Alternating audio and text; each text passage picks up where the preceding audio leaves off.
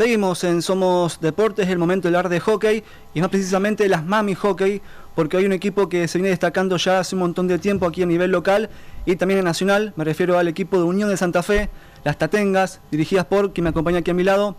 Me refiero a Gastón Pochín Rojas. ¿Cómo anda, Misa? ¿Todo bien, todo tranquilo? Bien, bien, por suerte. Todo lindo. Y a, la otra punta, una de las jugadoras y emblemas de este equipo, me refiero a Fernanda Gil. Fer, ¿cómo andás? ¿Cómo te va? ¿Todo tranquilo? Sí. ¿Nerviosa no?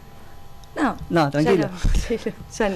Bueno, eh, Gastón, para preguntarte un poquito sobre lo que es el presente de Unión, en lo que es el tema Mami Hockey, un comienzo, una temporada que va a ser difícil de igualar con respecto a la temporada pasada. Eh, todo, todo año nuevo tiene un proceso nuevo, eh, nos estamos acomodando, nosotros lo que queremos hacer ahora es empezar allá a trabajar un poquito más táctico, eh, al principio del año pasado nos propusimos tratar de estar siempre en lo más alto eh, y sabiendo que es uno de los clubes más importantes de, la ciudad eh, y bueno, hacer notar que es uno de los clubes más importantes de la ciudad.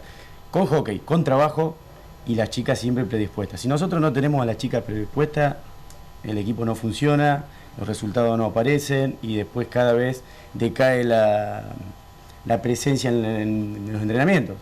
Pero nos pusimos un objetivo y el año pasado se logró bárbaro. Este año, bueno, como todo año siempre hay que planificar todo nuevamente, pues, eh, es fácil llegar, como se dice siempre, a la cima y mantenerse es lo que más cuesta. Bueno, nosotros ahora estamos tratando de mantenernos, jugamos dos partidos, uno lo ganamos, el otro lo empatamos, pero jugando bien. Eh, pero bueno, hay que, hay que trabajarlo. Yo le digo siempre a la chica que el trabajo da siempre los frutos a la larga. Eh, Fer, ¿cómo se hace para tratar de igualar o superar lo que ha sido la temporada pasada? Porque se consagraron bicampeonas a nivel local y un segundo puesto en el torneo nacional donde hubo más de 60 equipos en San Juan.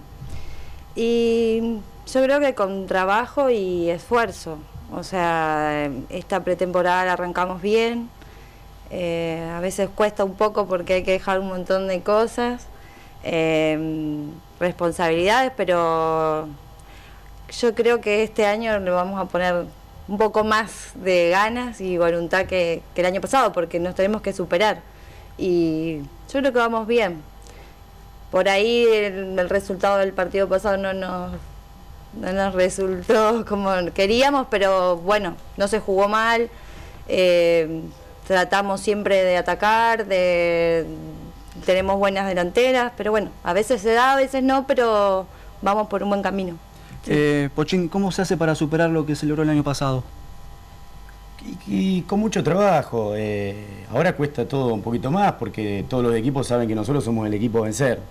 Eh, y yo, bueno, tengo que, concientizarlas a ellas en que tienen que estar metalizadas en cada partido eh, eh, diagramar cada partido, porque yo ya sé cómo nos van a jugar los equipos contrarios, entonces programarlo y planificarlo de la mejor manera para que le resulte más fácil a ella llevarlo a cabo.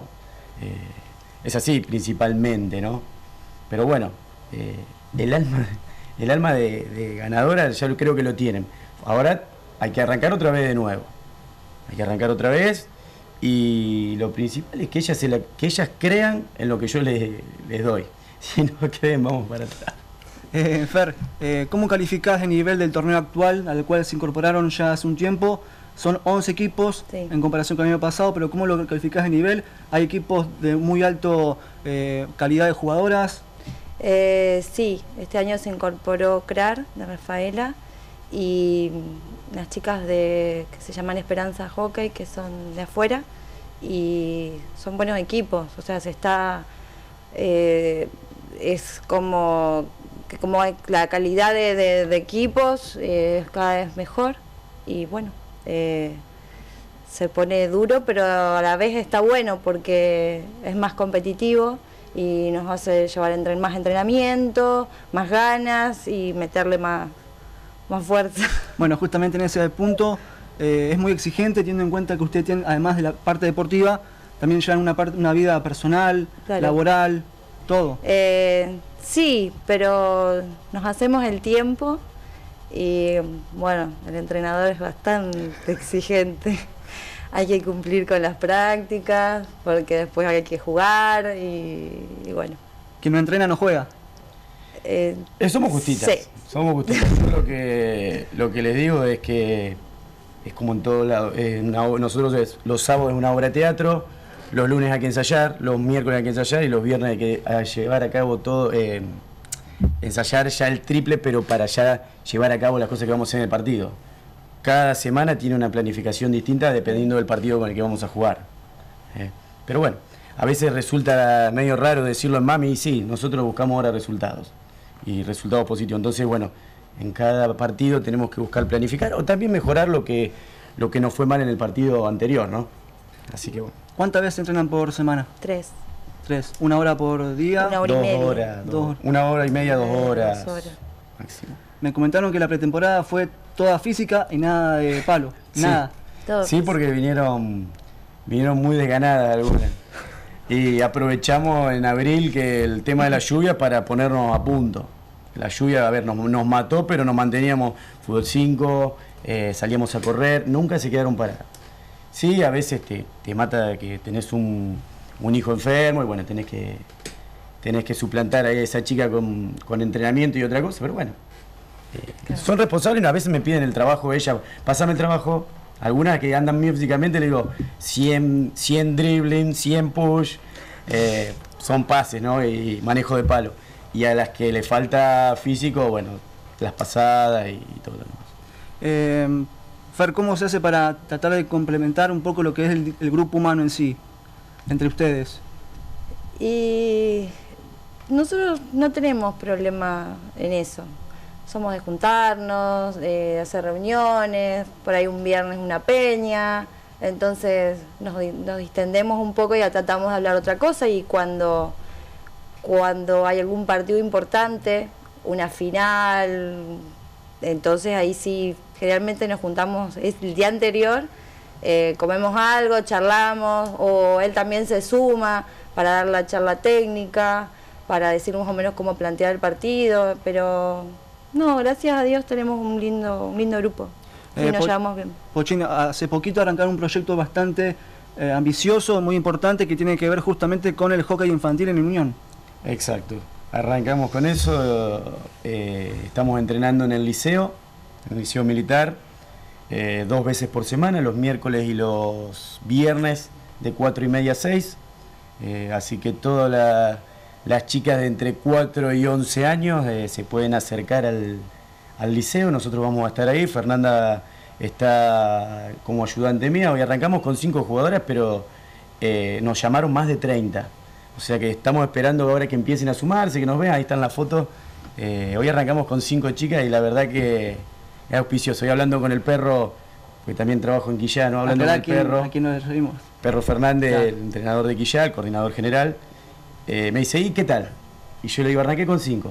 Felicitaciones, me dijo. Y yo lo miré, lo miré raro y me dice, yo arranqué con siete Quillá, y ahora Quillá tiene más de 200 jugadoras, entonces, aprovechando que es un, como dije el otro día, uno de los clubes más importantes de acá de Santa Fe, eh, esperemos que se sumen muchas chicas, eh, jugadoras o, que no hayan jugado nunca, nosotros vamos, tenemos palos para prestar, tenemos una buena variedad de bocha, de cono, entonces, y hay el lugar es bastante lindo ahí en, el liceo, porque aparte de cemento y ahora que se va a empezar a poner sintético en muchas canchas, hay que aprovechar. Una de las últimas ya, recién nombraste el Quillá, no puedo evadir la pregunta de Caballeros y el sintético, una gran obra que están a punto de terminar con los chicos y también todas las chicas del Quillá. Exacto. Eh, con los caballeros, bueno, estamos. Yo me sumé ahora hace dos semanas a correr con los chicos. Eh, vamos a jugar una liga nacional nuevamente, va a ser en Rosario, del 9 al 12. Estamos ahí entrenando con el, Juge, eh, Javier Rivero Canseco, que es el, entrenador de los caballeros, y Daniel Raviol en la parte física. se sumaron unos chicos de banco, un grupo lindo, un grupo joven ya se nos fueron los últimos viejos, que bueno, ahora son el presidente de la asociación y, el secretario, Ubita y el Pato, que también nos dan una mano bárbara, a los caballeros están dando una mano bárbara, ahora empezaron, la asociación arrancó con para entrenar con los caballeritos a las 6 de la tarde en el sintético los lunes. Eh, el otro día vi casi veintipico de caballeritos, la verdad que suma muchísimo y aparte suma para la inferior, sumar inferiores de, en caballeros, que no hay. Eh, y bueno, vamos, estamos preparando, estamos preparando a full y vamos a ver qué pasa. No te digo que vamos a jugar eh, entre los tres primeros puestos, pero vamos a sumar muchos chicos nuevos, eh, juveniles, que se sumaron el año pasado y que van a debutar este año en la liga. Con respecto al sintético, venimos, venimos bien, va. Nos paró la lluvia, pero eh, estamos trabajando bien. Hay la Peña de los 10, lo llamamos nosotros, somos entre entrenadores y, gente comandado ahí por Marcelo y Sergio, que son los, los que ellos son los primeros que tiran hacia adelante y nosotros los otros, los otros ocho que quedamos vamos atrás, después con la subcomisión y bueno, vamos, vamos tratando de que se cumpla el sueño de la cancha sintético y de agua ahí en Quillá, que sería importantísimo aparte para la ciudad, porque con un sintético de agua vos podés traer eh, las leonas y poder armar un, un Champion Trophy, una, un Cuatro Naciones y sería un evento importantísimo, ¿viste? Para, para Santa Fe. La última ahora sí para finalizar, saludos sociales a alguien del equipo. Yo a mi jugadora de sub-12 y sub-14 de, Quillá, que si no, le mando un saludo me mata. Fer. Yo a mis compañeras, a María Elena, que gracias a ella yo estoy acá porque no pudo venir. Le mando un beso grande. ¿A la familia? Sí, a los chicos, a mis nenes y a mi marido que, marido? que sí, que me aguanta. La verdad que sí. Sí, a todos mis compañeros. Perfecto. Chicos, eh, muchas gracias por venir, por acercarse hasta el canal. Muchas Lo mejor de las suertes gracias. y éxitos. ¿eh? Gracias. Gracias. Vamos a una pausa y enseguida volvemos con mucho más Somos Deporte.